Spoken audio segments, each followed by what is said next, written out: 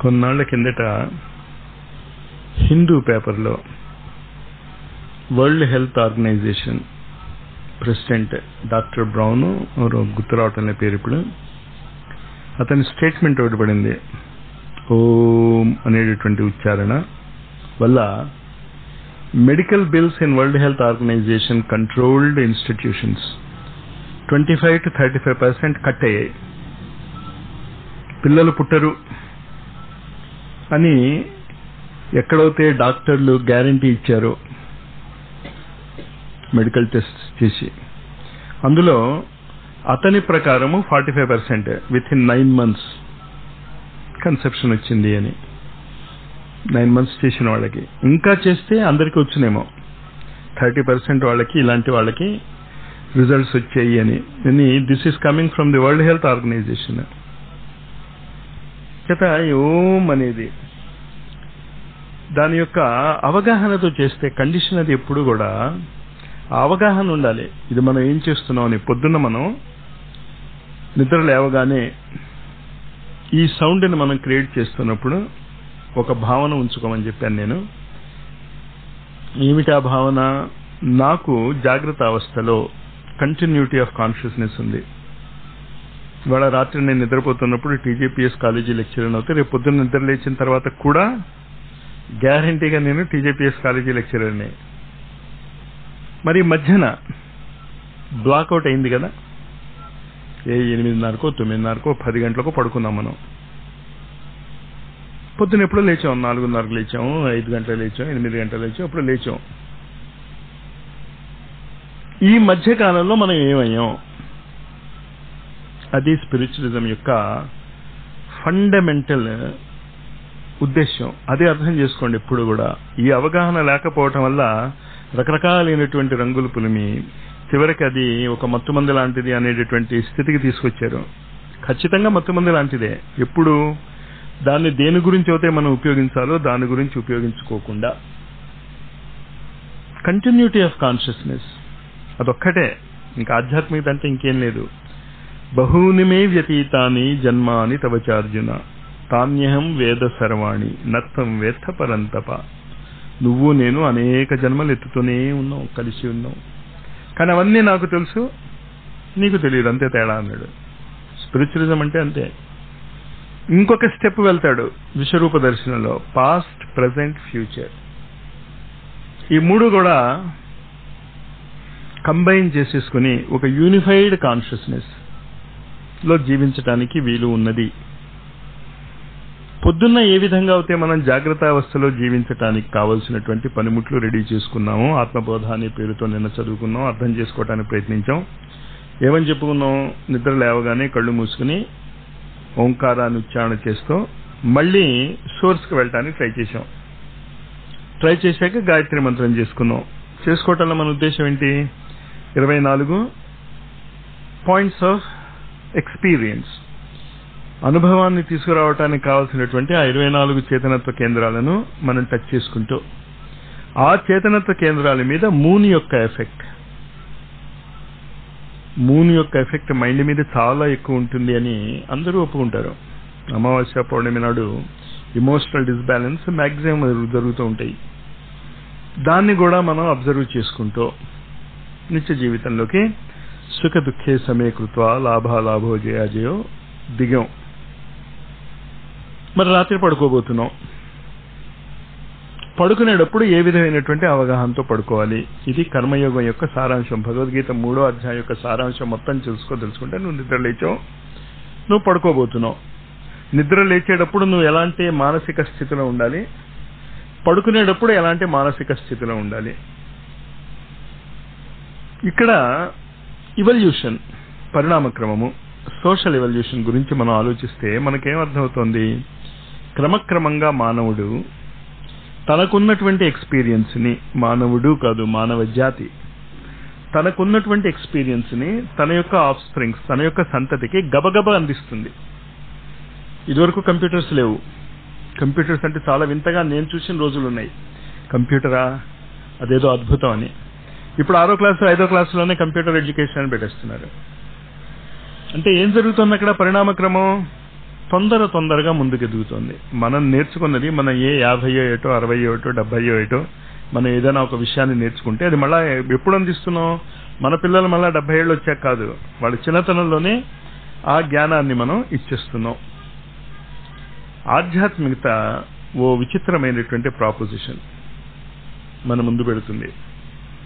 పరిణామ క్రమం మొత్తము ఒక రోజులో నువ్వు జీవించలేవా? ఒకే ఒక రోజులో.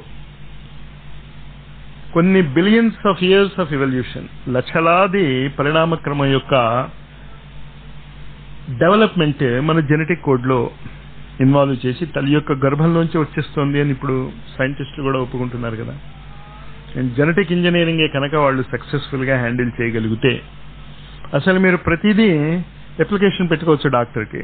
నా పిల్లవాడి కళ్ళు నీలంగా ఉండాలి ముక్కు పొడుగ్గా ఉండాలి జుట్టు వంకులు ఉండాలి మొహం మీద ఎర్రటి గీతలు ఉండాలి కుడి చేతి మీద పుట్టుమచ్చ ఉండాలి. ఇదంతా మీరు అడగొచ్చు. అతను చేయగలుగుతాడు కూడా. ఇంకా ఆ స్థితికి రాలేదు. ఇంకా ఒక ఊహలో మాత్రమే ఉంది. కానీ అది కనుక సంభవమే అవుతే మనం పురాణాల్లో చదువుకుంటున్నటువంటి రెండు మూడు కథలు అసంభవం కావేమో. ఏంటి ఆ రెండు మూడు కథలు? అభిమన్యుడు. ఉత్తర గర్భంలో ఉన్నప్పుడే చక్రవ్యూహం గురించి నేర్చుకున్నాడు. చక్రవ్యూహం గురించి నేర్చుకుంటూ ఉంటే ఆవిడెప్పుడో నిద్రపోయింది బోరు కొట్టి. ఈ చక్రవ్యూహాలు అవి ఉత్తరకెందుకు? అర్జునుడు ఎంత హీరో అయినా ప్రతివాడికి వాడి పెట్ టాపిక్ వచ్చేసరికల్లా మర్చిపోతారు వాళ్ళు. ఎదుటవాడు వింటున్నాడా లేదా అని. అంచేత భార్య వింటోందా లేదా అని అబ్జర్వ్ చేసుకోలే. ఆ లోపల ఉన్నవాడు ఊ కొడుతున్నట్ట. ఉత్సాహంగా చెప్పుకుంటూ పోతున్నాడు. ఈ పెద్ద బాస్ ఉన్నాడు కదా ఆయనే కంగారు పుట్టుకొచ్చింది. నేను మహాభారత యుద్ధం చేయబోతున్నాను. ఈ బడుద్ధాయికి ఏ బడుద్ధాయికి? ఉత్తర గర్భంలో ఉన్నటువంటి బడుద్ధాయి కనుక సుభద్ర సారీ సుభద్ర యొక్క దాంట్లో ఉన్నటువంటి బడుద్ధాయి కనుక వచ్చేస్తే అసలు మహాభారత యుద్ధం యొక్క ఇదే మారిపోతుంది. కుదరదు అని చెప్పి లోపలికి వెళ్ళటం వరకు చెప్పాక ఇంకా చాలే నిద్రపోయింది పద అంటాడు. అంటే ఏం జరుగుతుంది అక్కడ? యూ కెన్ టీచ్ మనుష్యులకి తల్లి గర్భంలో ఉన్నప్పుడే అంటే జాగ్రత్త అవస్థలో లేనప్పుడే నేర్పవచ్చు. నైన్టీన్ ఫిఫ్టీస్లో నార్త్ ఇండియాలో నేను చదువుకుంటున్నప్పుడు ఓ పేపర్ అడ్వర్టైజ్మెంట్ వచ్చింది. మరి తర్వాత ఆ పేపర్ అడ్వర్టైజ్మెంట్ నేను చూడలేదు. Learn while you sleep. పడుకుని ఉండగానే నేర్చుకో. ఇక్కడికి అమెరికాలో అలాంటి ఇన్స్టిట్యూషన్స్ ఉన్నాయిట. తానే ఎందుకంటున్నా అంటే నాకు దాని దగ్గర అథారిటేటివ్ ఇన్ఫర్మేషన్ ఏం రాలేదు. కానీ పుస్తకాలు చదివాను. ఏంటి అక్కడ అమెరికాలో గ్రేడింగ్ సిస్టమ్ ఉంటుంది. A grade B grade C grade D grade అని. డి అండ్ సి గ్రేడ్ వస్తున్నటువంటి పిల్లలకి ఏసీ రూమ్స్లో ఏరోప్లేన్లో సీట్లు ఉంటాయి. పుష్ బ్యాక్ సీట్లు అలాంటి సీట్లు పెట్టి హెడ్ ఫోన్స్ ఉంటాయట. ఎదురకుండా ఒక టీవీ ఉంటుందిట. టూ హండ్రెడ్ డాలర్స్ పెర్ డేయో పెర్ అవరో ఏదో దాని ఛార్జ్ ఈ డి గ్రేడ్ సి గ్రేడ్ వస్తున్న పిల్లల్ని అక్కడ పంపించేస్తారు. అక్కడికి వెళ్ళి చేశాక ఏం చేస్తారట? నిద్రపోమంటారు. పడుకుంటారు పిల్లలు. ఇయర్ ఫోన్స్ పెట్టుకుని. తర్వాత అక్కడ టీచరు కంట్రోలర్ అవడం ఉంటాడు కదా వాడు టీవీని ఆన్ చేస్తాడు. నెక్స్ట్ డే చెప్పబోయే పాఠం టీవీ స్క్రీన్ మీద వస్తూ ఉంటుంది. ఇయర్ ఫోన్స్ ఉంటాయి. వాడికి కావాల్సిన లెవెల్లో ఇయర్ ఫోన్స్ ముందే సెట్ చేసుకుని ఉంటారు వాళ్ళు ఒక రోజు ముందే. అంటే ఏంటి వాడు స్లీప్ డిస్టర్బ్ కాదు.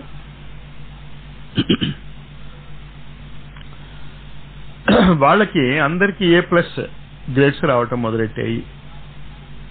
అంటే you can learn while you are sleeping పడుకుని ఉండగా మీరు చాలా నేర్చుకోవచ్చు చాలా కరెక్ట్గా నేర్చుకోవచ్చు. దాన్నే హిప్నటిక్ భాషలో చెప్పాలంటే పోస్ట్ హిప్నటిక్ సజెషన్స్ ఏం చేస్తాడు? హిప్నటైజ్ చేసేవాడు. ఎవరినైతే మనం హిప్నటైజ్ చేయబోతున్నామో వాడిని ముందు హిప్నటైజ్ చేసేసాక పొద్దున్న ఎప్పుడు హిప్నటైజ్ చేస్తాడు? సాయంత్రం ఏడు గంటలకి నువ్వు ఫలానా చోటికి వెళ్ళి వచ్చేస్తావు అని వాడికి సజెషన్ ఇచ్చి వాడిని లేపేస్తాడు. వాడికి తెలియదు వాడికి ఏం సజెషన్ ఇచ్చాము కానీ తెలియకుండా వాళ్ళ సాయంత్రం అయ్యేసరికల్లా ఎవరు చెప్పకుండానే ఆ సజెషన్ ఇవ్వబడినటువంటి యాంగిల్లో వెళ్ళి వచ్చేస్తూ ఉంటాడు. ఇది మనం రాత్రిళ్ళు ఉపయోగించుకోవాలి అందుకు ఇదంతా చెప్పేది ఏంటంటే ఇంకోడవదో మనం ఎందుకు హిప్నటైజ్ చేయడం మనమే సజెషన్స్ ఇచ్చుకుందాం పోస్ట్ హిప్నటిక్ సజెషన్స్ దాని తర్వాత హిప్నటిజం గురించి ఉన్నటువంటి కొన్ని బెంగలు కొన్ని వాడు ఏదేదో చేసేయగలరు. మీ ఇష్టం లేకుండా హిప్నటిస్ట్ ఏమీ చేయలేడు అది గుర్తుంచుకోండి. నిజంగానే హిప్నటిస్ట్ అది చేయగలిగి ఉంటే అసలు వాడు క్లినిక్ ఓపెన్ చేయడు వాడు. దారిలో వెళ్తున్నాడు హిప్నటైజ్ చేసేసి నా ఇంట్లో ఐదు వేల రూపాయలు పడేస్తావు నువ్వు. తర్వాత పడేసినట్టు నువ్వు మర్చిపోతావు అని హిప్నటైజ్ చేసేసి ఉండేవాడు అయిపోయేది. మరి అది జరగడం లేదు కదా. అంచేత మనకి కొన్ని అర్థం లేని అనుమానాలు ఉంటాయి. హిప్నటిస్ట్ ఎప్పుడైనా హిప్నటైజ్ చేయబడేవాడు ముందు ఒప్పుకుంటే నన్ను హిప్నటైజ్ చేయి నాకు ఈ అలవాటు మానుకోవాలని ఉంది. అంటే అసలు వాడి విల్ పవరే పనిచేసేది. కానీ హిప్నటిస్ట్ విల్ పవర్ పనిచేసింది అనుకుంటాడు. పని చేయదు అని మీరు కూర్చున్నాను అనుకోండి ఎంత పెద్ద హిప్నటిస్ట్ అయినా అలవాటు మానిపించలేడు. అంచేత ఇక్కడ ఇది కూడా మీరు గుర్తుంచుకోండి ఇప్పుడు నేను చెప్పబోయేటటువంటి తత్వబోధ. కర్మయోగంలో స్పిరిచువల్ సైకాలజీ యొక్క పరాకాష్ట. కొంచెం జాగ్రత్తగా అవగాహన చేసుకుంటే అమృతత్వము ఇమ్మోర్టాలిటీ ఈ ఫిజికల్ బాడీలోనే సంభవము. యు నీడ్ నాట్ డై నువ్వు చావాల్సినటువంటి అవసరం లేదు. ఎందుకు ఆ మాట చెప్తారు వాళ్ళు? సావు అనేది ఒక పోస్ట్ హిప్నటిక్ సెషన్ లాంటిది. కొంచెం జ్యోతిష్ శాస్త్రంలో బాగా అవగాహన ఉన్నటువంటి వాళ్ళు. బాగా అవగాహన ఉన్నటువంటి వాళ్ళు. మామూలు జ్యోతిష్ శాస్త్రవేత్తల గురించి నేను మాట్లాడటంలే. బాగా అవగాహన ఉన్నటువంటి వాళ్ళు ఖచ్చితంగా అవగాహనకి రాగలరు ఈ పర్టికులర్ పీరియడ్ మంచిది కాదు అని. అది అడిగిన వాడికి చెప్పాల్సిన పనిలే ఆ దేశకాల పరిస్థితులని ఆ జరిగేటటువంటి మార్పులు జరిగిపోతూనే ఉంటాయి. ఆ జరిగేటటువంటి మార్పులు జరిగిపోతూనే ఉంటే అవి ఎందుకు జరుగుతున్నాయి? అవి అలా జరగవచ్చా జరగకూడదా? అనే దానికి లాహరి మహాశయ యొక్క శిష్యుడు యొక్క శిష్యుడు పరమహంస యోగానంద బాహ్య జగత్తులో ఉన్నటువంటి గ్రహాల యొక్క పరిస్థితిని మనం ఖచ్చితంగా దాటివేయగలము ఎటొచ్చి గ్రహాలు గ్రహాలుగానే ఉంటాయి. ఎండాకాలం ఎండాకాలంగానే ఉంటుంది. నువ్వు ఏసీ పెట్టుకోవచ్చు గొడుగు పెట్టుకోవచ్చు. వర్షం కురుస్తూనే ఉంటుంది. నువ్వు లెదర్ కోటో రెయిన్ ప్రూఫ్ కోటో వేసుకోవచ్చు. మనము ఇవాళ నేర్చుకోబోయేటటువంటి సాధన కర్మయోగంలో అది నేర్చుకోబోతున్నాం. ఇవంతా దానికి బ్యాక్గ్రౌండ్ పోస్ట్ హిప్నటిక్ సజెషన్స్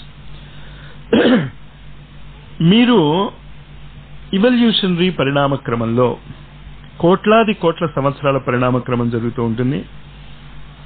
కృతయుగం తర్వాత త్రేతాయుగం త్రేతాయుగం తర్వాత ద్వాపరయుగం ద్వాపరయుగం తర్వాత కలియుగం ఇలాగా సైకిల్ ఆఫ్టర్ సైకిల్ సంవత్సరాల తర్వాత సంవత్సరాల తర్వాత సంవత్సరాలు అలా వస్తూనే ఉంటాయి. అని చాలా మంది ప్రశ్నించేది ఏంటి అంటే కలి యొక్క ప్రథమ చరణమే ఇప్పుడు నడుస్తుంది కదా.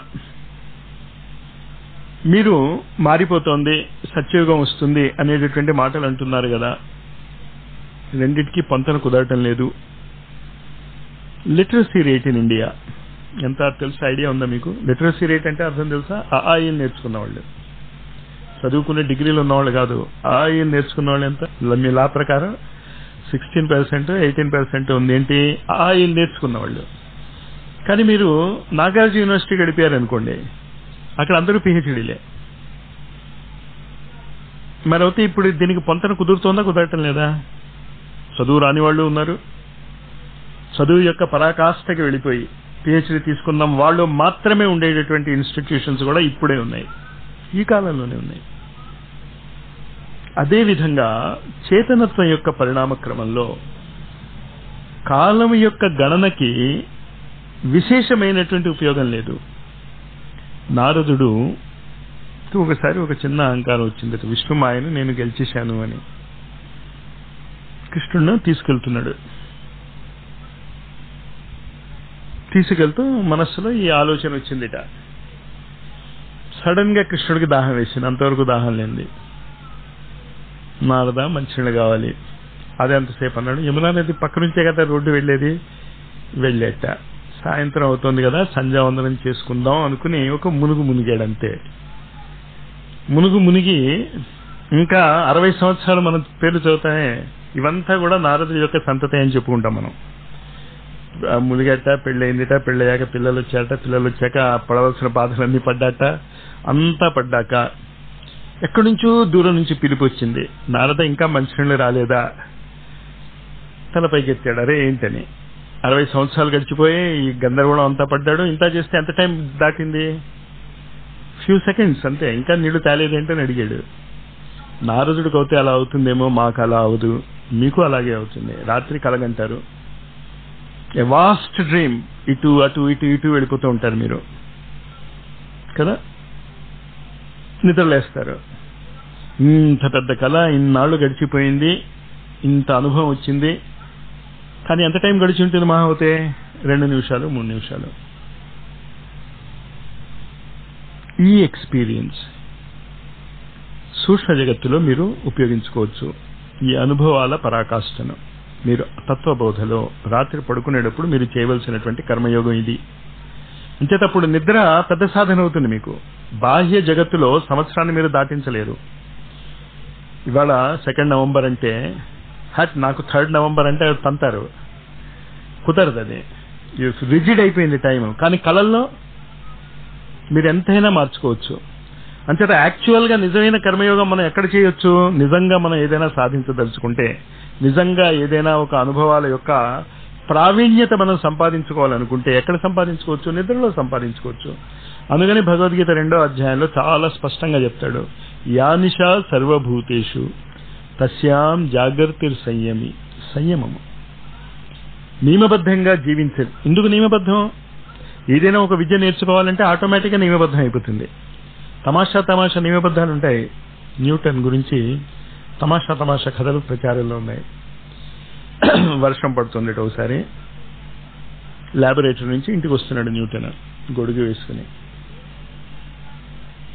సరే ఇంటికి వచ్చాక మరి గొడుగు మూసేస్తాం కదా? నీట్గా ఫోల్డ్ చేసేట గొడుగుని. గొడుగుని తీసుకెళ్ళి మంచం మీద పెట్టేట. తను వెళ్ళి గొడుగు ఎక్కడ పెట్టాలో అక్కడ వెళ్ళి నుంచున్నట్ట. పొద్దున్న వాళ్ళ ఆవిడ వచ్చి చూస్తే ఏడి? మంచం మీద లేడు. గొడుగు ఎక్కడ ఉంటుందో అక్కడ ఉన్నాడు అరే న్యూటన్ గారి యొక్క గొప్పతనం ఇంకా చాలా కథలు చెప్పుకుంటారు. ఒకసారి ల్యాబొరేటరీలో ఎక్స్పెరిమెంట్ చేస్తున్నాడు. మరి భార్య ఆ రోజు ఏం చేసిందో ఏమో. నువ్వే వండేసుకో గుడ్డు అంది. తెలుసు కదా మామూలుగా గుడ్డు ఉడకబెడతారు. ఒక పది నిమిషాలు ఎన్ని నిమిషాలు టైమింగ్ పెడతారు వాళ్ళు. సరే ఉడకబెడుతున్నాడు. సరే నీళ్ళు మరుగుతున్నాయి నీళ్ళు మరుగుతున్న నీళ్ళు చాలా చెప్పింది కదా భార్య అని చెప్పి వేసాడు తర్వాత చూసుకుంటే ఏం వేశాడు అందులో? రిస్ట్ వాచ్ వేశాడు. మళ్ళీ న్యూటన్ గురించి ఇంకో కథ ఉంది. చాలా మంది శాస్త్రజ్ఞులకి కొంచెం దయార్ద్ర హృదయం ఉంటుంది. కైండ్ హార్ట్ సరే ఓ పిల్ల ఏదో ల్యాబ్లో తిరుగుతూ ఉంటే తిరుగుతోంది. పిల్లల్ని పెట్టింది. పిలిచాడు కార్పెంటర్ని. నేను మరి ల్యాబ్ అది తలుపులు వేసుకుని వెళ్ళిపోతూ ఉంటాను. చాలా ఇబ్బందిగా ఉంటుంది. ఓ పెద్ద కన్నము ఒక చిన్న కన్నము చేయండి అన్నాడు. న్యూటన్ గురించి ఈ కథలన్నీ తెలుసున్న వాళ్ళకి తెలిసి న్యూటన్ గారు అలా కాదు అసలు రెండు కన్నాలు ఎందుకు అన్నాడు. పెద్ద పిల్లి వెళ్ళటానికి ఏమో పెద్ద కన్నం చిన్న పిల్లి వెళ్ళటానికి చిన్న కన్నం. అలా అక్కర్లేదు సార్ పెద్ద కన్నం నుంచి పిల్లి వెళ్తే పిల్లలు కూడా కట్లోంచి వెళ్తారు. ఆ రిజిడిటీ ఆఫ్ థింకింగ్ ఆలోచనలలో ఉన్నటువంటి తీవ్రత ఒక ఫీల్డ్కి మాత్రమే మన జాగ్రత్త అవస్థలో చేయగలం. క్రికెట్ ఆటల్లో గవాస్కర్ ఎక్స్పర్ట్ అయితే. మిగతా విషయాల్లో ఎక్స్పర్ట్ కాకపోవచ్చు. ఏదో ఒక క్షేత్రంలో ఒక దాంట్లోనే మనం ఎక్స్పర్ట్ అయి సంపాదించుకోవచ్చు. మిగతా వాటిలో చిన్నపిల్లల కంటే కన్నా కష్టంగా ఉంటుంది వాళ్ళ ప్రవర్తన. కానీ సూక్ష్మ జగత్తులో మీరు అన్ని ఫీల్డ్స్లోనూ గ్రో అవ్వచ్చు. అన్ని ఫీల్డ్స్లోనూ అందుకే సన్యాసిని మూడు రాత్రుల కంటే ఎక్కడ ఉండొద్దు అని చెప్తాడు. ఉండొద్దు అని చెప్పడం ఎందుకంటే వాడి స్పీడ్కి చుట్టుపక్కల ఉన్న వాళ్ళు తట్టుకోలేరు. చుట్టుపక్కల ఉన్నటువంటి వాళ్ళకి బాధలు కానీ వాళ్ళకి రకరకాల ప్రాబ్లమ్స్ ఉంటూ ఉంటాయి కదా. చుట్టుపక్కల ఉన్న వాళ్ళకి ఆ ప్రాబ్లమ్స్ అన్ని వాడు ఆ రాత్రి సాల్వ్ చేసేస్తాడు. ఎన్ని రోజులు పడుతున్న వాడికి సాల్వ్ చేయడానికి మూడు రాత్రులు చాలు వాడికి సన్యాసికి. హీ నోస్ దట్ ఆల్ట్ ఎంతమంది అక్కడ ఏముంది చేయటానికి అక్కడ చేసేదేం లేదు. చేసేదేదో ఆ చేతనత్వమే చేస్తుంది? అంచేత ఒక కండిషన్ పెట్టారు. నిజమైనటువంటి సన్యాసి ఎవడు కూడా ఊళ్ళో లోపలికి రాకూడదు. మూడు రాత్రుల కంటే ఎక్కడా ఓ చోట ఉండకూడదు. ఎందుకు ఉండకూడదు? క్యాపబుల్ మనిషి అన్ని చోట్లకి వెళ్ళాలి. నేను ఇక్కడే ఉండిపోతాను అంటే ప్రతి వాళ్ళు ప్రతి చోటకి రాలేరు కదా? భారతీయ సంస్కృతి ఎంత అద్భుతమైనటువంటి నియమాలు పెట్టిందో ఆలోచిస్తే అసలు ఆశ్చర్యం ఇస్తుంది. అసలు అంత దూరం ఆలోచించారా వాళ్ళు? కానీ ఎవరిని అలా తిరగమంది? కాషాయ బట్టలు వేసుకుని అడుక్కునేవాడిని కాదు. నాకు ఇవాళ నువ్వు తిండి పెడతావా తిండి పెట్టవా? నీ సమస్యలు ఏంటి వాటిని నేను సాల్వ్ చేస్తా. అవన్నీ వాడు సాల్వ్ చేస్తున్నాడు కనుక వాడి శరీర నిర్వహణ కోసం మీరు ఇచ్చేది వాడు చేసేటటువంటి హెల్ప్కి మనం ఎంత ఇస్తాం? ఏం కృతజ్ఞత ఇస్తాం వాడికి? ఆ లెవెల్ సన్యాసులు లేరు. ఆ రకమైనటువంటి అవగాహన లేదు. కానీ ఇది రాత్రిలో మాత్రమే చేయగలం. ఈ సాధన అంతా కూడా రాత్రిలో మాత్రమే చేయగలం. రాత్రి అంటే ఎప్పుడు? జాగ్రత్త అవస్థ యొక్క కాన్షియస్నెస్ మీద బ్రేక్ అవుతాయి జాగ్రత్త అవస్థ యొక్క కాన్షియస్నెస్ మనం బ్రేక్ చేసుకున్న తర్వాత. పడుకోబోతున్నాం. రోజల్లా ఇరవై నాలుగు కాన్షియస్ ప్రిన్సిపల్స్ గాయత్రి సూర్యుడు చంద్రుడికి మధ్య వచ్చేటటువంటి కోణాల ద్వారా వచ్చేటటువంటి ఫలితాలకు అనుగుణ్యంగా జీవించడానికి మనం ప్రయత్నం చేశాం. ఈ ప్రయత్నాలు మెలకుగా ఉన్నటువంటి మానవజాతి ప్రతి ఒక్కడూ ఆ రోజుకి అదే చేస్తాడు. తిథివార నక్షత్రాలు వాడికి మారవు. రాత్రి అయింది. పడుకోబోతున్నాడు. పడుకోబోతున్నప్పుడు అసలైన సిసలైన సాధన మొదలవుతుంది. అందుకని దీన్ని తత్వబోధ అంటాం. అండర్స్టాండింగ్ ద ప్రిన్సిపల్స్ ఎంత డబ్బు ఉన్నా ఎంత గొప్ప స్థితిలో ఉన్నా మానవుడు రాత్రి వాడికి నిద్ర పట్టలేదనుకోండి. ఫినిష్ ఇంకా నిద్రపోగలగటానికి వాడు మీకు ఏదైనా చేస్తాడు. ఇంచేత ఇంత అద్భుతమైనటువంటి రహస్యం ఉంది కనుక నిద్రలో. It is not just sleeping and relaxing నాలుగు నిమిషాల పాటు మీరు నిద్రపోగలిగితే భౌతిక జగత్తులో పడినటువంటి మీ పరిశ్రమకి చాలు అన్నది సైకాలజిస్ట్ వాచ. నాలుగు నిమిషాలు పడుకుంటే చాలు మీరు యాక్చువల్గా కానీ ప్రకృతి ఏం చెప్తోంది మిమ్మల్ని? నాలుగు నిమిషాలు కాదు పడుకోమనేది. సిక్స్ అవర్స్ యావరేజ్ మీద. మనం కూడా ఒప్పుకుంటున్నాం ఆరు గంటలు పడుకుంటే పర్వాలేదు. అంతకంటే ఎక్కువ పడుకుంటే బాగుండదు. కానీ ఈ సిక్స్ అవర్స్ పడుకున్నప్పుడు మీరు బాహ్య జగత్తులో పడిన శ్రమకి కేవలము నాలుగు నిమిషాలు మాత్రమే మీరు పడుకుంటే సరిపోతే మిగతా five hours fifty five minutes దేనికి ఉపయోగించాలి మీరు? ఏ విధమైనటువంటి సాధన చేయాలి? ఏ విధంగా మనము ఆ కంటిన్యూటీ ఆఫ్ కాన్షియస్నెస్ ఏంటి కంటిన్యూటీ ఆఫ్ కాన్షియస్నెస్ కాస్త జాగ్రత్తగా అర్థం చేసుకోండి. అది మీలో ఇప్పుడు చాలా మందికి జరుగుతోంది అది. అవగాహన అవటం లేదు మీకు అక్కడ మీకు ఏం జరుగుతుందో. ఈ క్లాసెస్ యొక్క ఒక కోరిక అది కూడా. మనలో చాలా మందికి నిద్రపోయిన తర్వాత నిద్ర లేచిన తర్వాత చాలా అలసటగా ఉన్నట్టు గమనిస్తారు చాలా మంది పడుకున్నంత తృప్తి ఉండదు చాలా మందికి పడుకున్నారు. ఇంట్లో వాళ్ళకి చూస్తే నేను పడుకున్నావు కదా ఏంటి పడుకోలేదంటావు? నువ్వు బాగానే పడుకున్నావు కదా. నిజంగా వీడు ఘాటుగానే పడుకున్నాడు గుర్రు పెడుతూనే ఉన్నాడు పక్క వాళ్ళకి నిద్ర చెడగొడుతూనే ఉన్నాడు. కానీ నిద్ర లేచేసరికల్లా ఎలా ఫీల్ అవుతున్నాడు? ఏంటో అన్ఈజీగా ఉంది ఏదో అలసట. దానికి కారణం ఏంటి అంటే ఈ సూక్ష్మ జగత్తులో విపరీతమైనటువంటి పనులు తలకి మించినటువంటి పనులు చేయవలసి వస్తుంది కొంతమందికి. అంచేత ఇలా ఫీల్ అయిన వాళ్ళు అందరూ అలాంటి వాళ్ళ the reverse is not true జాగ్రత్త. అంచేత మనం ఏదో గొప్పవాళ్ళం అయిపోయాం మరి వద్దు. చూసుకోండి. నిద్ర యొక్క సుఖం ఉండాలి. కానీ లేకపోవటానికి ఒక కారణం ఇది కూడా కావచ్చు. దీన్ని గుర్తించుకోవటానికి నిద్రపోయిన తర్వాత మీరు శ్వాసని గమనించండి. శ్వాస లోపలికి వెళ్తుంది బయటకు వస్తుంది. లోపలికి వెళ్తుంది బయటికి వస్తుంది. ఒక సింపుల్ ప్రాసెస్ లా కనిపిస్తుంది ఇది. ఏముంది? పుట్టిన దగ్గర నుంచి చేస్తున్న పనేనా ఇది? ప్లస్ ఆ పని ఏంటిది? మనం మొదలెట్టింది కాదు మనతో పాటు పుట్టింది. సహజం కర్మ కౌంతేయ సదోషమతి నచ్చజే మనతో పాటు పుట్టినటువంటి కర్మ ఏదైనా ఉంటే ఆ కర్మ శ్వాసే. ఎప్పుడు ఎండ్ అవుతుందా శ్వాస? మనతో పాటే ఆగుతుంది. ఈ శ్వాస లోపలికి వెళ్తుంది బయటకు వస్తుంది లోపలికి వెళ్తుంది బయటకు వస్తుంది. దానివల్ల మన శరీరంలో జరిగేటటువంటి అనేక విధమైనటువంటి ప్రాసెసెస్ అరుగుదల కానీ కళ్ళు మూతలు పట్టడం కానీ నర్వస్ రియాక్షన్స్ కానీ వీటన్నిటికీ కావాల్సినటువంటి ప్రాసెసింగ్ ఈ శ్వాస వల్ల జరుగుతుంది. మోడర్న్ సైన్స్ కూడా మిల్లిమిల్లిగా అక్కడికి వస్తుంది యాక్సెప్ట్ చేస్తుంది అది కానీ స్పిరిచువల్ ఎనాటమీ ఏం చెప్తుంది అంటే శ్వాస పీల్చుకునేటటువంటి విధానాన్ని మీరు మార్చేస్తే మీ చేతనత్వం మారిపోతుంది. జరుగుతున్నది అది నిద్రలో నిద్ర పట్టడం లేదంటారు. ప్రయత్నిస్తావు ప్రయత్నిస్తావు ప్రయత్నిస్తావు. నేను నిద్ర పట్టడానికి ప్రయత్నిస్తున్నాను మాస్టర్ అంటావు. సడన్గా నిద్రపోతాం ఆ ట్రాన్సిషన్ స్టేట్ ఉందే జాగ్రత్త అవస్థ నుంచి నిద్రావస్థలోకి వెళ్ళేటటువంటి ట్రాన్సిషన్ స్టేట్ అది మీరు పట్టుకోగలిగితే దాన్ని మళ్ళా సాయంత్రం చేసేటటువంటి సంధ్యావందనం అవుతుంది.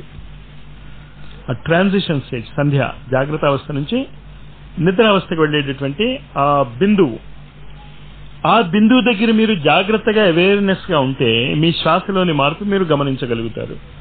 ఇప్పుడు పీల్చుకున్నట్టు మనం పీల్చుకోం.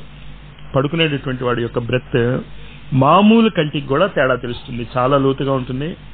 చాలా డీప్గా ఉంటుంది. ఆ డీప్ బ్రెత్ వల్లే ఆరోగ్యం కూడా. నిద్ర బాగా పడితే ఆరోగ్యం అనే లక్షణం ఎందుకు అంటే ఆ డీప్ బ్రెత్ వల్లే. అంచేత డీప్ బ్రీతింగ్ నువ్వే చేసేసుకోగలిగావు అనుకో. నిద్రలో నువ్వు ఎలాగ శ్వాస పీల్చుకుంటున్నావో అలాగే నువ్వు శ్వాస పీల్చుకోగలిగితే నిద్ర యొక్క రిలాక్సేషన్ ఎఫెక్ట్ మీరు నిద్రపోకుండానే సంపాదించుకోగలుగుతారు. అది ఒక పాయింట్. అది గమనించుకోండి మీరు. శ్వాస లోపలికి వెళ్తుంది బయటకు వస్తుంది. లోపలికి వెళ్తుంది బయటకు వస్తుంది. ఇక మాట్లాడకండి మీరు. అదొక సాధన లాగా అతి తీవ్రమైనటువంటి సాధన లాగా యు బీ అవేర్ శ్వాస లోపలికి వెళ్తుంది బయటకు వస్తుంది. లోపలికి వెళ్తుంది బయటకు వస్తుంది శ్వాస యొక్క లక్షణం ఏంటి? స్పర్శ. గాలి స్పర్శ వల్ల మనకి తెలుస్తుంది గాలి ఉందా లేదా అన్నది ఏమైనా తెలుసు చల్లటి చిరుగాలి తగిలితే సైక్లోన్ యొక్క గాలి తగిలితే ఆ గాలి యొక్క స్పర్శ తేడా తెలుస్తుంది కదా. మిల్లి మిల్లిగా మీరు ప్రతిరోజు ఇది చేస్తూ ఉంటే సహజంగా మీలో వచ్చేటటువంటి మార్పు ఏంటంటే ఐదు రకాలైనటువంటి గాలులు మీరు అర్థం చేసుకోగలుగుతారు. ప్రాణ అపాన వ్యాన ఉదాన సమాన. క్లియర్ కట్గా మీ శరీరంలో ఆ మార్పు మీకు తెలుస్తుంది. ఎలా ఉంటుంది? ఎక్కడ తగులుతుంది? దాన్ని చదవకుండా ఉండటమే మంచిది. ఇంచేత మనస్సు ఒక చాలా తమాషా అయినటువంటి ఇది ఉంది. ఇప్పుడు నేను మామూలుగానే మాట్లాడుతూ ఉంటాను. మీరు వింటూ ఉంటారు. గబుక్కు నేను ఇక్కడ ఏముంది అంట. ఇంకా మాటలు మాయం. నేను వింటూనే మర్చిపోతాను మీరు. మీ మనసు ఎక్కడికి వెళ్ళిపోతుంది? ఏముందో ఇక్కడ? ఇంత చేస్తే ఏమీ లేదు అక్కడ. కానీ మీ అవేర్నెస్ ఎటు వెళ్ళిపోయింది? చెప్పిన చోటకి వెళ్ళింది. ఈ శ్వాసను మీరు గమనించుకోండి. గమనించుకుంటే మీకు ఐదు రకాలైనటువంటి శ్వాసలు ఐదు రకాలైనటువంటి స్థలాల్లో లభిస్తాయి అని చెప్తే కొంచెం ఇమాజినేషన్ ఉన్నటువంటి వ్యక్తులకి అక్కడ ఉన్నా లేకపోయినా ముందు ఆ ఫీలింగ్ వచ్చేస్తుంది. అంచేత దాన్ని ఏ పుస్తకంలోనూ రాయలేదు రాయరు. It has not been given మీ అంతటి మీరు దాన్ని పట్టుకోవాల్సిందే. పట్టుకున్న తర్వాత దాన్ని ఎంత కరెక్ట్గా ఉంది అన్నది డిస్కషన్ ద్వారా పరస్పరం భావయంత ఒకళ్ళకొకళ్ళు చెప్పుకుని. అందరికీ ఒకే ఎక్స్పీరియన్స్ వస్తే అది కరెక్టే. అంతకంటే ఇంకేం లేదు. Universality is the only test ఇది మొట్టమొదట మీకు వచ్చేటటువంటి మార్పు. ఎస్సెన్స్ ఆఫ్ లైఫ్ మీ జీవితం యొక్క ఎస్సెన్స్ ఏంటి? ప్రాణశక్తి యొక్క ధారలు. ఆ ప్రాణశక్తి యొక్క ధారలు మిల్లిమిల్లిగా ఈ భౌతిక శరీరాన్ని నిర్మించాయి. భౌతిక శరీరాన్ని మనం మార్చలేం కానీ ప్రాణశక్తి ధారణను మనం చాలా సులభంగా మార్చేయచ్చు. నేను ఇక్కడి నుంచి లేచి ఆ బస్ స్టాండ్ వరకు వెళ్ళాలి అంటే కొంచెం కష్టపడాలి. నేను వెళ్ళాను అని అనుకుంటానికి ఎంత టైం పడుతుంది? తక్షణం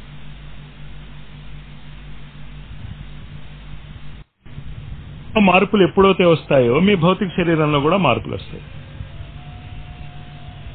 ప్రాణశక్తిలోని పరిమాణాన్ని మీరు మార్చుకోగలిగితే మీ భౌతిక శరీరంలో కూడా కావలసినటువంటి మార్పులు వస్తాయి. ఇంకా పెర్మిటేషన్ కాంబినేషనే నెక్స్ట్ డే మీరు చేయబోయేటటువంటి కార్యక్రమాలు కానీ మీరు ఏ స్థాయికి ఎదగాలనుకుంటున్నారో ఆ స్థాయికి కావలసినటువంటి అనుభూతులు కానీ మీరు తెచ్చుకోవాలి అంటే ప్రాణశక్తి మిక్స్చర్ అనమాట తయారు చేయటమే. వన్ పర్సెంట్ ప్రాణ ట్వంటీ ఫైవ్ పర్సెంట్ ఉదాహరణ. సెవెంటీ పర్సెంట్ అపాన. ఇలాగా ఆ ప్రాణశక్తిని మీరు మిక్స్ చేసుకోగలిగేటటువంటి స్థితి కూడా మీకు ఏర్పడుతుంది. ఒక రోజా రెండు రోజుల మూడు రోజుల నాకు తెలియదు మీ సీరియస్నెస్ బట్టి. కానీ ఉఫ్ అని ఉత్తే మీకు శరీరానికి స్పర్శ తగలటానికి ఎంత టైం పట్టింది? ఎన్ని రోజులు పట్టింది మీకు స్పర్శ తెలియటానికి? తక్షణమే తెలుస్తుంది. మీరు సిన్సియర్గా అవేర్నెస్గా ఉంటే తక్షణమే తెలుస్తుంది.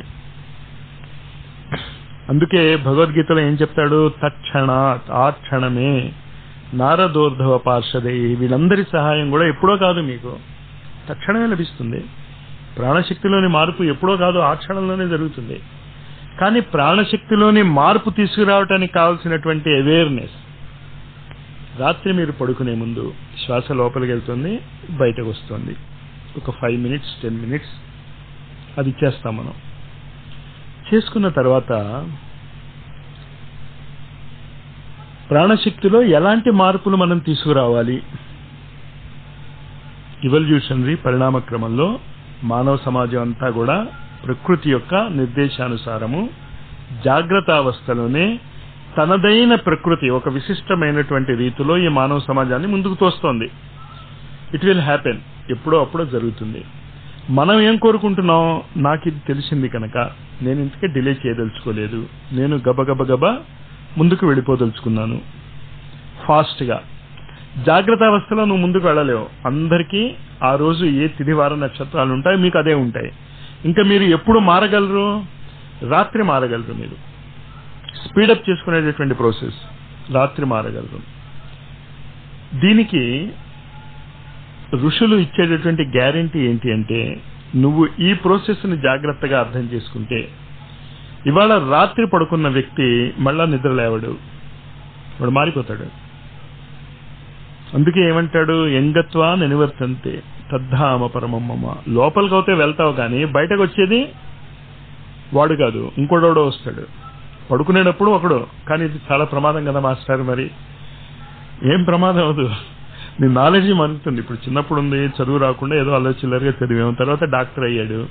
ఆ జ్ఞానం వల్ల వాడు ఇంకోటికి ఉపయోగపడగలిగాడు కానీ మిగతా సంబంధ బాంధవ్యాలు ఏం మర్చిపోడుగా వాడు.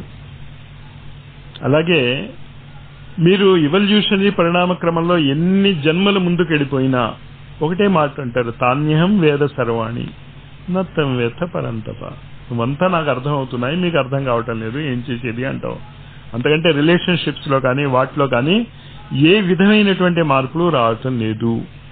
ఒకవేళ మీకు కనుక అలాంటి పరిస్థితి ఎదురవుతే జాగ్రత్త. అదే మీరు తప్పు చేస్తున్నారు అని అర్థం. ఆధ్యాత్మిక జగత్తులో కత్తి మీద సాము అనేది అందుకే దీన్ని. గబుక్కుని మనం ఏమంటాం అవుతే ఇవాళ కాలేజీ ఎక్కొట్టేద్దాం. ఎందుకుట గీత చదువుతున్నాను కనుక కాలేజీ ఎగ్గొట్టిన వాడికి అంటే నా సంగతి చెప్పుకుంటున్నా. అది మిగతా వాళ్ళకి మీ మీ బాధ్యతల ప్రకారం చూసుకోండి.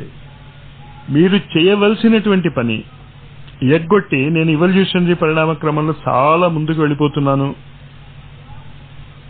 మీ అపోహ అది వెళ్ళలేరు. ఇంచేత ఆ డే అండ్ టైంలో ఆ బాధ్యతలు నిర్వర్తించినటువంటి బాధ్యత కూడా నీదే. లేకపోతే నువ్వు అక్కడ ఉండవుగా. ప్రకృతి నీకు ఆ బాధ్యత ఇవ్వదలుచుకోలేదు. ఇండియాలో ఫలానా ఊళ్ళో ఫలానా వాళ్ళతో నువ్వు కలిసి మాట్లాడకూడదు అని ప్రకృతి నిర్ణయించుకుంటే మిమ్మల్ని అమెరికా బండిల్ ఆఫ్ చేసేస్తుంది. ఇంకా అమెరికాలో మీరు అవస్థ పడుతూ ఉంటారు భగవంతుడు తెలియాలి మీ అవస్థలు ఏంటో. కానీ ఇక్కడ మాత్రం మీరు నో ఇంటరాక్షన్స్ అంచేత ప్రకృతి మిమ్మల్ని ఎక్కడ ఉంచినదో చాలా జాగ్రత్తగా ఆధ్యాత్మిక జగత్తులో ఈ విషయాన్ని మీరు గమనం చేసుకోండి. మీరు చేయవలసినటువంటి బాధ్యతల్ని ఏ మాత్రము ఏమరపాటు చేసినా. ఇంకా సాధన కాదు అది ఇది సాధకులకి చాలా బోరు కొడుతుంది. నేను ఆధ్యాత్మిక సాధన చేస్తున్నాను కదా. ఎలాంటి సాధన ఆధ్యాత్మిక సాధన చేస్తారు? వీడు పూజ చేయాలి. వీడు పూజ చేయాలి అంటే ఇంట్లో వాళ్ళు భార్య పిల్లలు వాళ్ళు తోమాలి. విగ్రహాన్ని వీడు తోమకూడదు వీడు స్నానం చేయాలంటే వేడి నీళ్ళు రెడీ చేసి ఉంచాలి. వీడు భగవంతుడికి పుష్పం సమర్పయామి అంటాడు. కానీ పుష్పం వీడు కోసుకురాడు. వాళ్ళెవరో? వాళ్ళని ఏడిపించి వాళ్ళకి లేవాలని ఉండరు వాళ్ళకి టీవీ చూడాలనో ఏదో చూడాలని ఉంటుంది. కానీ వీడు ఎర్నింగ్ మెంబర్ కదా. వీడు మాట వినకపోతే వద్దు అది చేయకండి అది. మీ యొక్క పనులు పూజలో మీ యొక్క సాధన ఇంకోటి చేస్తే రాదు. ఇంకోటి ఎవడైనా తింటే మీకు ఫలితం ఎలా వస్తుంది? మీ సాధన కావాల్సిన మీరు చేసుకోండి అన్ని. అంతే తప్ప ఇంకోళ్ళు అన్నీ చేస్తే అది పద్ధతి కాదు. అంచేత ఈ ఆధ్యాత్మిక సాధనలో రాత్రి పడుకుంటున్నప్పుడు ప్రాణము యొక్క గమనాన్ని మనం గమనించుకున్న తర్వాత మన శరీరంలో పంచ ప్రాణాలు ఏ విధంగా కదులుతున్నాయో మనం అర్థం చేసుకున్న తర్వాత అర్థం చేసుకోవటానికి మీరేం చేయక్కర్లేదు. ప్రకృతి చెప్తుంది. వేడిగా ఉందా చల్లగా ఉందా? ప్రకృతి చెప్తుంది. ఆ శ్వాస యొక్క ఐదు రకాలైనటువంటి క్లియర్ కట్ డివిజన్స్ మీకు అర్థం అవటం మొదలెడతాయి. అది ఒక ఐదు నిమిషాల పాటు మీరు చేసుకున్న తర్వాత నెక్స్ట్ పొద్దున్న నిద్ర లేచాక పడుకునేంత వరకు మనం అనేక రకాలైనటువంటి కార్యక్రమాల్లో పాలు పంచుకుంటాం ఉద్యోగమైన ధర్మాలు ఉంటాయి భార్యగా ధర్మాలు ఉంటాయి భర్తగా ధర్మాలు ఉంటాయి మరిదిగా ధర్మాలు ఉంటాయి ఏదో బిజినెస్ అది చేస్తూ ఉంటే క్లయింట్స్ వస్తూ ఉంటారు కస్టమర్స్ వస్తూ ఉంటారు. వీళ్ళందరితో నేను ఎలా ప్రవర్తించాను? నా బిహేవియర్ ఎలా ఉంది? మీరు రివ్యూ చేసుకోండి. ఆత్మ వలె నేను ప్రవర్తించగలిగానా? లేకపోతే ఒక సాధారణ మానవులు లాగా భగవద్గీత చెప్పినటువంటి స్టాండర్డ్ ఉంది కదా మనకి? అద్వేష్ట సర్వభూతాన్ని మైత్ర కరుణ ఏమైతే అది పన్నెండో అధ్యాయంలో వస్తుంది. కానీ ఏమొచ్చినా మనకి తెలియందేం లేదని మళ్ళా ఉత్తనే గుర్తు చేసుకోవటానికే. నేను ఒక ఆత్మని కనుక ఆత్మ వల్ల నేను ఆ పరిస్థితుల్లో జీవించగలిగానా? లేకపోతే మళ్ళా మామూలు మనిషిలాగా జీవించానా? ఒక ఫాస్ట్ ప్లేబ్యాక్. ఎక్కడెక్కడ మీరు తప్పు చేశారు? ఎక్కడెక్కడ మీరు ఆత్మ వల్ల జీవించలేదు? డిలీట్. కంప్యూటర్లో. కట్. ఇది బాగోలేదు. అని ఏం చేస్తాం? దాన్ని బ్లాక్ చేసి డిలీట్ అంటాం. పోతుంది అది అక్కడ మళ్ళా మీరు ఏ విధమైనటువంటి ఆలోచన పెట్టుకోదలుచుకున్నారో ఆ విధమైనటువంటి ఆలోచన. నేను ఇలా ప్రవర్తించి ఉండవలసింది. దీన్ని చాలా సిన్సియర్గా తీసుకోండి ముఖ్యంగా పిల్లలు ఎడ్యుకేషన్కి వెళ్ళేవాళ్ళు వాళ్ళకి ఈ ప్రాబ్లం చాలా వస్తుంది. నేను చదవలేకపోయాను. నేను చేయలేకపోయాను. నువ్వు చదవలేకపోయావు చేయలేకపోయావు ఇది ఎన్నిసార్లు అనుకున్నా ఏం లాభంలే చేయాల్సిందేంటి? నువ్వు చదవవలసిన దాన్ని ఫాస్ట్గా చదవాలి. టైం పీరియడ్ని ఎక్కడ నువ్వు కవర్ చేసుకోగలవు? రాత్రి నిద్రలో మాత్రమే కవర్ చేసుకోగలవు. ప్రాక్టీస్ చేసుకోండి దాన్ని. ఎలా తెలుస్తుంది? ఈ ప్రాక్టీస్ నాకు రిజల్ట్స్ ఇస్తుందా లేదా? పొద్దున్న కాలేజీలోకి వెళ్ళాం. ఏదో ఒక చిన్న సంఘటన మీద కొలీగ్స్తోనూ అటెండర్స్తోనూ కొంచెం ఘర్షణ పడ్డాం. ఆధ్యాత్మికవేత్త ఘర్షణ పడడు.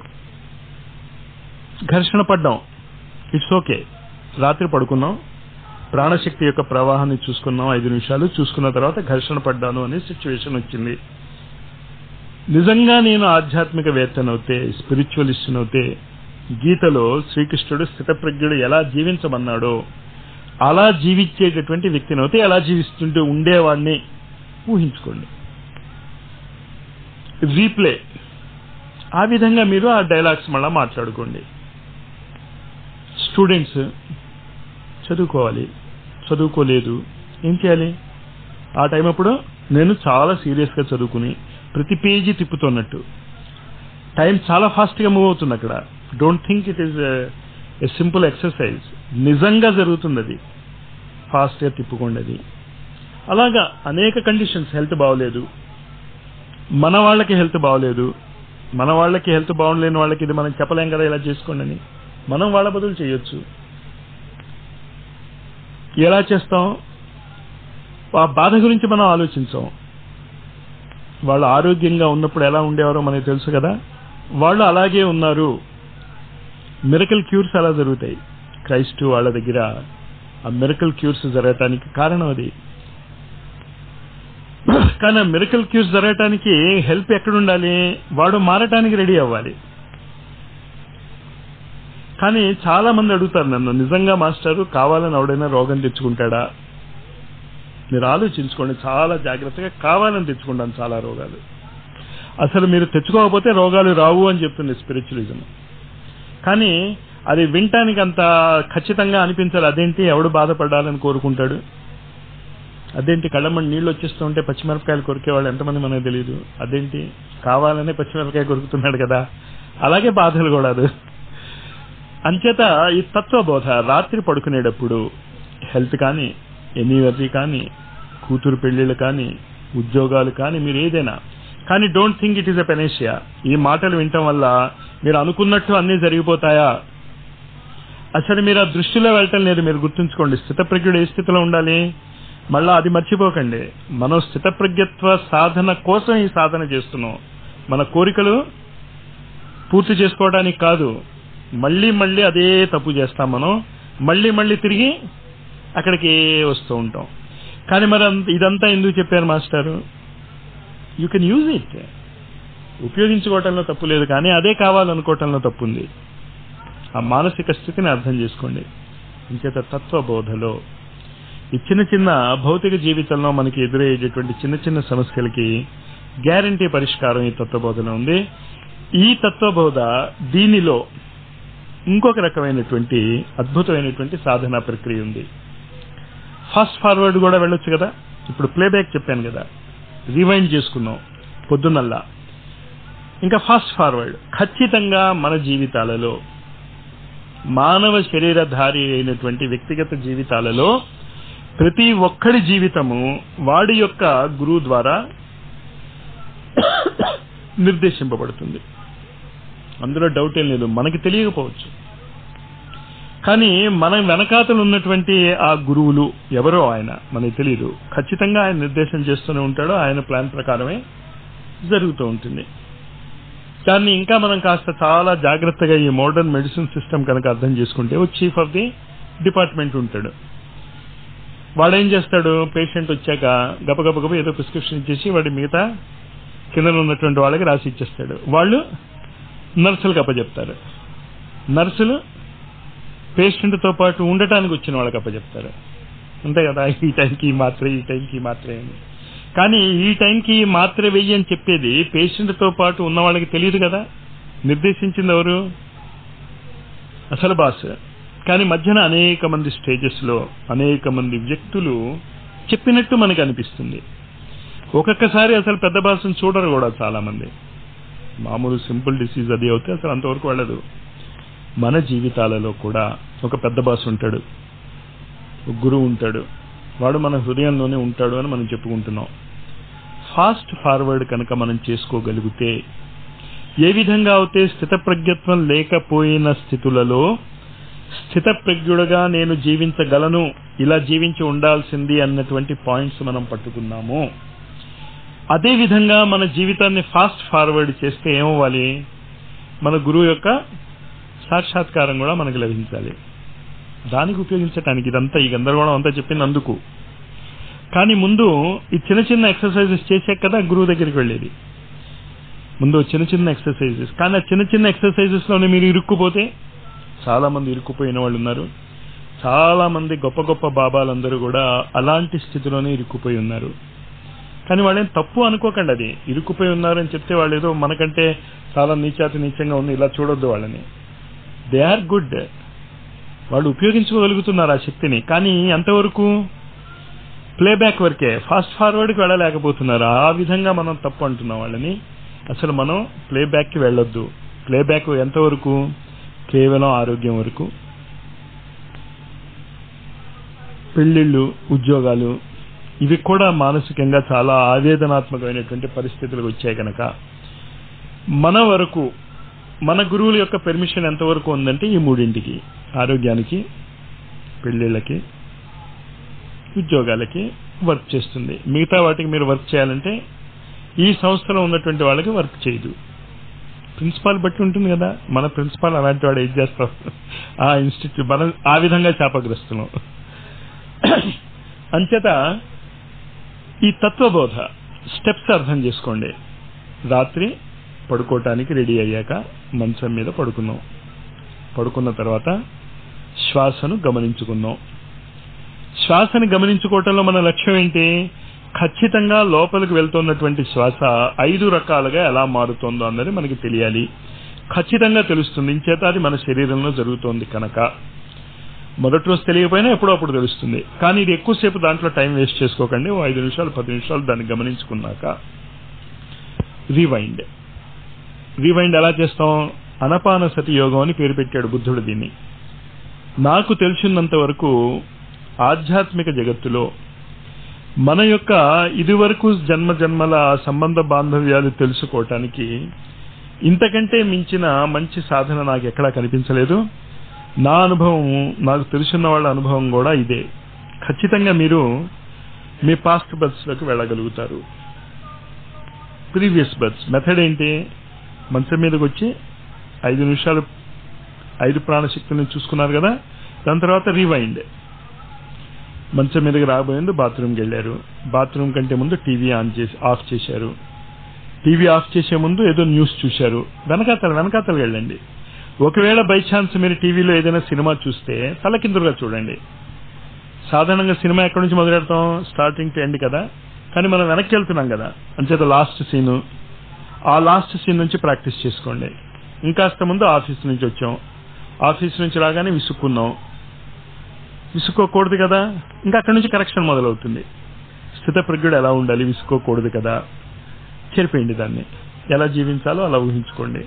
ఇంకాస్త ముందుకెళ్ళాం. ఆఫీస్లో ఏం చేసాం పివి నరసింహారావు ఏం చేసి ఉండాల్సింది? మనకి అతి చర్చనీయాల్సిన విషయం అది. ఇంకేంటే we know everything about politics అసలు అక్కడ వాళ్ళకి అంతా తెలిసిన వాళ్ళకి గందరగోళం పడితే ఇలాంటి చర్చలన్నీ మనం చేశాం కనుక. వీటి బదులు మనం ఏం చేసి ఉండాల్సింది? స్థితప్రజ్ఞుడవుతే ఏం చేసి ఉండాలి మీరు? ఆలోచించుకోండి. ఇంకాస్త ముందుకు వెళ్ళాం బస్ స్టాండ్లో నుంచున్నాం. ఆర్టీసీ రావడానికి బస్సు రాలేదు. ఇంకా ఆర్టీసీ వాళ్ళని దుమ్మెత్తిపోసాం స్థితప్రజ్ఞుడు దుమ్మెత్తిపోయాడు. అంచేత మళ్ళీ అక్కడ గబగబ గబ చేర్పిసుకోండి. ఇంకాస్త ముందుకి టిఫిన్ ఏదో చేసాం టిఫిన్లో ఉప్పు ఎక్కువైందో కారం ఎక్కువైపోయిందో దాన్ని గిరాటా వేసాం హోటల్కి వెళ్ళాం. వాడు బుద్ధింక వేసినటువంటి సాంబార్ ఇచ్చాడు. భలే ఆనందంగా తాగాం. అంచేత ఈ విధమైన అవగాహన అనాలిసిస్ చాలా ఆనెస్ట్గా మీరు మన్ని మనం అనాలిసిస్ చేసుకుని అలాగే తీసుకుని ఎంతవరకు వెళ్ళాలి మీరు? పొద్దున్న ఓ మరి మూడు సార్లు మీరు చేశారు కదా ఆ ఊ మాతో అంతవరకు మీరు కనుక ప్రతిరోజు ప్రాక్టీస్ చేసుకుంటే ఒక రోజు ఒక మ్యాజిక్ జరుగుతుంది మీ జీవితంలో. You will enter the sleep state of the previous day అది మీరు వెళ్ళిపోగలిగితే అందులోకి మీరు వెళ్ళిపోగలిగితే ఇంకా నేనేం చెప్పక్కర్లే అదే మీకు తీసుకెళ్తుంది. ఈ ప్రాక్టీస్ చేసుకోండి. అంచేత ఇప్పుడు ఏమైంది మీకు? ఇంతకంటే జపం చేసుకోవటమే మంచిది మాస్టారు. యజ్ఞం చేయటమే బాగుంది. ఇంత గందరగోళం ఎక్కడ పడతాం? కానీ అవసరం ఇది. అందుకే చెప్పాను కదా ఆధ్యాత్మిక సాధనలు నిజంగా చేయటం మొదలెడితే చాలా కష్టం. కానీ చాలా ఆనందదాయకమైనటువంటివి కూడా. ఇంచేతంటే అక్కడెక్కడి ఫలితాలు వస్తూ ఉంటాయి? అక్కడెక్కడ ఫలితాలు వస్తూ ఉంటాయి మీకు? మీకు తెలుస్తూ ఉంటుంది నేను ఇది మారానని. ఇంచేత దీన్ని మనం అనపాన సతియోగం అంటాం. మోడర్న్ భాషలో రీవైండింగ్ ప్రాసెస్ అనుకోండి. కానీ రీవైండింగ్ ప్రాసెస్ దగ్గర ఆక్కండి మీరు. రాత్రి ఆ ముందు రోజు పొద్దున్న రీవైండ్ చేసుకుంటూ పడుకున్నటువంటి వాడు అలా ముందుకొచ్చి పొద్దున్న ఓంకారంతో నేను నిద్ర లేచాను అన్నంత వరకు వచ్చాక ఆగిపోండి అక్కడ. ఇప్పుడు ఏం చేయాలి మీరు? ఫాస్ట్ ఫార్వర్డ్ మీ యొక్క గురువు యొక్క స్వరూపాన్ని ఊహించుకోండి. మీకు నచ్చిన స్వరూపం గడ్డం పెట్టుకోవచ్చు ఆయనకి. గడ్డం పెట్టుకున్న గురువు మాకు అక్కర్లేదు అంటే సఫారీ ఉన్న గురువు పెట్టుకోండి. అది అక్కర్లేదు. మీ ఇష్టం. ఎనీ షేప్ యూ వాంట్ కానీ క్లియర్ కట్ ఫీచర్స్ ఆలోచించుకోకండి. మొహాన్ని మాత్రం మీరు ఆలోచించకండి.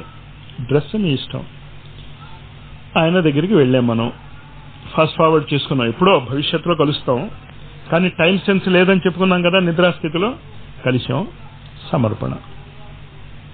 నీ దగ్గరికి రావటానికి ఈ గందరగోళం అంతా నేను పడుతున్నాను.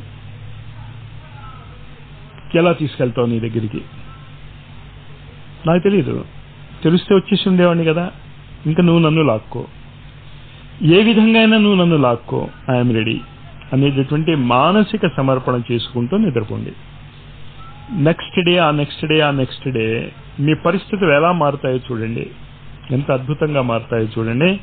చాలా ఫాస్ట్గా మారుతాయి. ఇంత తొందరగా మారితే ఎట్టా మాస్టారు? అనుపాన సతయోగం తగ్గించుకోండి. దాని ఉంది స్పీడ్ మీది.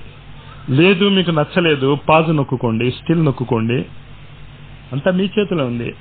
ఎంతసేపు స్టిల్ నొక్కుంటాం ఎన్ని జన్మలు నొక్కుంటాం అది మీరు ఆలోచించుకోండి. ఎందుకు స్టిల్ నొక్కుకోవటం? వద్దు. స్పీడ్గా వెళ్ళిపోదాం. ట్రిక్ తెలిసాక ఇంకా ఆగొద్దు. అవగాహన అయింది కదా? ఇది కర్మయోగం యొక్క సారాంశం.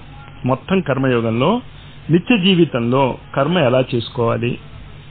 పొద్దున్న లేచినప్పుడు ఓం భూర్భోస్వ తత్సవితుర్వరణ్యం భర్గోదేవసి ధీమై ధీయోన ప్రచోదయాతో పాటు శ్రీ విద్య.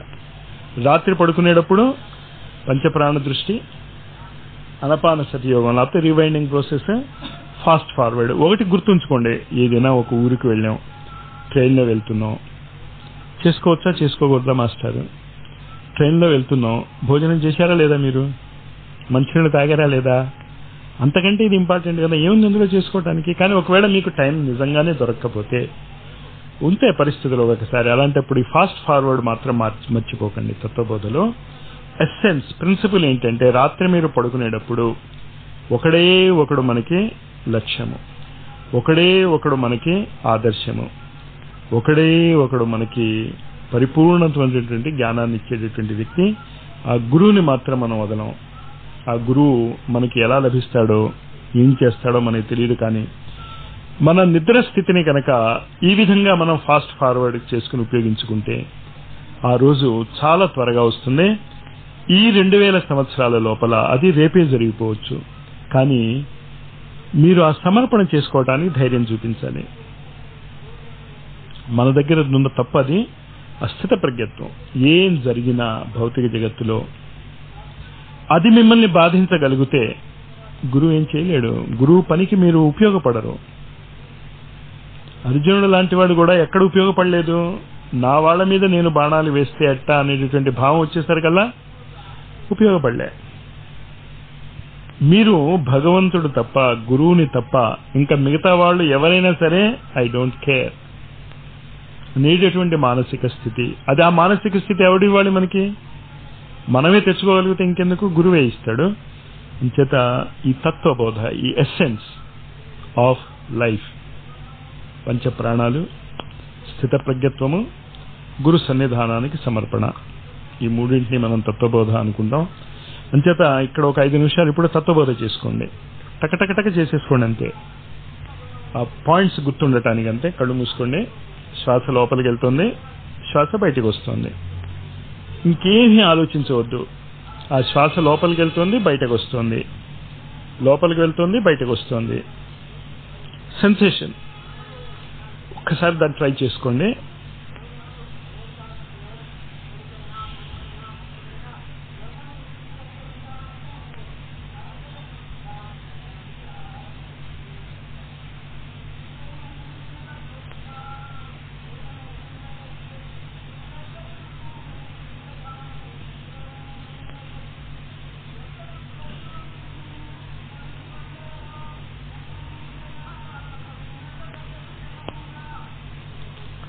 కేవలము శ్వాస మీద దృష్టి లోపలికి వెళ్ళి అది ఏం చేస్తుంది?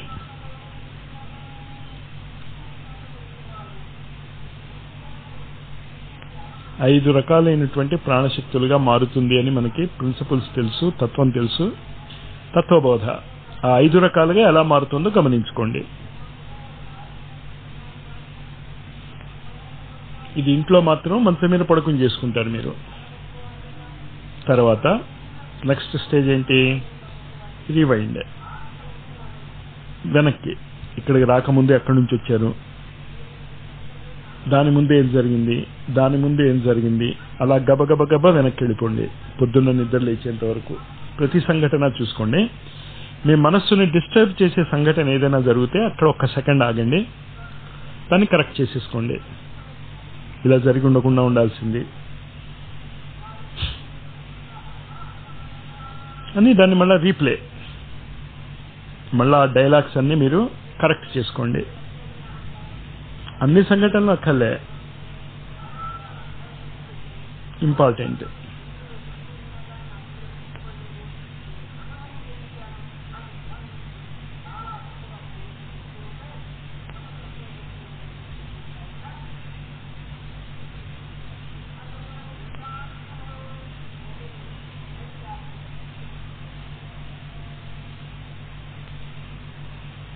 దాని తర్వాత ఫాస్ట్ ఫార్వర్డ్ గురు సన్నిధానం. గురువు యొక్క చరణాలకు ఆత్మ సమర్పణ ఇంకా మనం చేసేదేం లేదు. ఇది మేము చేసాం ఇలాగా. తప్పప్పులు నువ్వు కరెక్ట్ చేయి. పరిపూర్ణ సమర్పణ. ఇంకా ఆయనకి మనం ఏం చెప్పక్కర్లేదు అది గుర్తుంచుకోండి. సమర్పణ తప్ప ఇంకేం చేయం అక్కడ.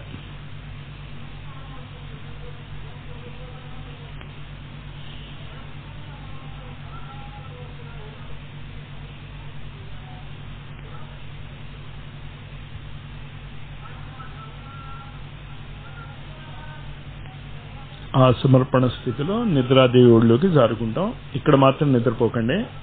ఐదు నిమిషాలు రా. లేచిపోండి. స్వస్తి.